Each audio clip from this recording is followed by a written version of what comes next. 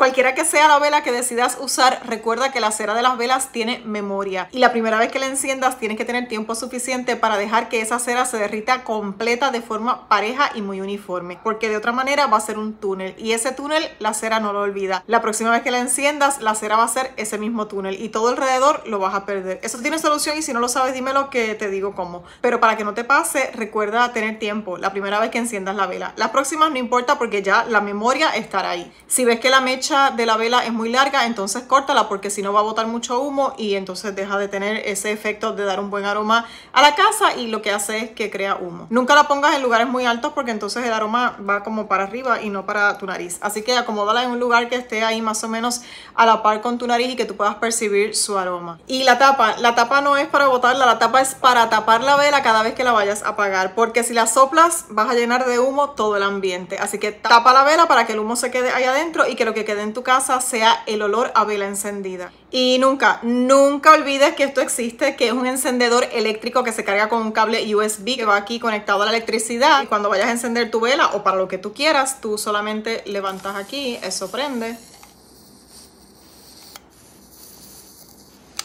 encendida la vela. Esta es mi página de Amazon, te dejo el link. Todo tiene su truco. Si quieres ver cómo voy a arreglar esa vela que hizo túnel, entonces déjamelo en los comentarios que te digo cómo.